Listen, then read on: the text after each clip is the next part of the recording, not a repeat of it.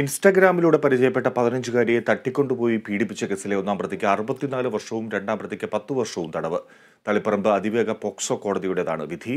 ഒന്നാം പ്രതി കാട്ടാക്കട സ്വദേശി എസ് എസ് ജിതേഷ് ഒന്നേമുക്കാൽ ലക്ഷവും രണ്ടാം പ്രതി കണ്ണൂർ സ്വദേശി ലയാൻ പീറ്റർ കാൽ ലക്ഷം രൂപയും പിഴയൊടുക്കണം. ഇൻസ്റ്റഗ്രാമിലൂടെ പരിചയപ്പെട്ട പതിനഞ്ചുകാരി വീട്ടിൽ നിന്നും സ്കൂളിലേക്ക് ഇറങ്ങിയപ്പോഴാണ് തിരുവനന്തപുരം കാട്ടാക്കട സ്വദേശിയും ഒന്നാം പ്രതിയുമായ എസ് എസ് ജിതേഷ് കാറിലെത്തി തട്ടിക്കൊണ്ടുപോയത്. പിന്നീട് പെൺകുട്ടിയെ കാറിൽ വെച്ച് പീഡിപ്പിച്ച പ്രതി ഇക്കാര്യം പറഞ്ഞ് ഭീഷണിപ്പെടുത്തി.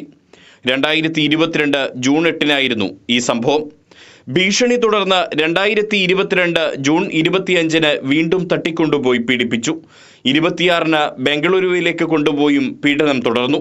പെൺകുട്ടിയുടെ അമ്മ നൽകിയ മിസ്സിംഗ് പരാതിയിൽ അന്നത്തെ Taliparamba police inspector A V Dineshan S I P C Sanjay Kumar എന്നിവരുടെ നേതൃത്വത്തിൽ നടത്തിയ അന്വേഷണത്തിലാണ് ഇരുപത്തിയെട്ടിന് ജിതീഷിനെ അറസ്റ്റ് ചെയ്തത്. പിന്നീടാണ് കണ്ണൂർ പുതിയ തെരുവിലെ സ്വകാര്യ റെസിഡൻസിയിലെ റിസപ്ഷനിസ്റ്റായ ലയൻ പീറ്റർ മുറി നൽകി പീഡനത്തിന് ഒത്താശ ചെയ്തു എന്ന വിവരം പോലീസിന് ലഭിച്ചത്.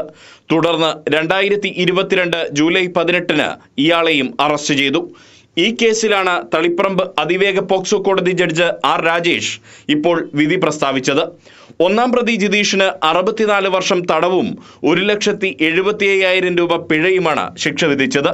രണ്ടാം പ്രതി ലയാൻ പീറ്ററിന് പത്ത് വർഷം തടവും ഇരുപത്തി അയ്യായിരം രൂപ പിഴയും ശിക്ഷ വിധിച്ചു. പ്രോസിക്യൂഷന് വേണ്ടി public prosecutor advocate Sherimol Jose ഹാജരായി. Riyas K M R Kerala vision news Kannur.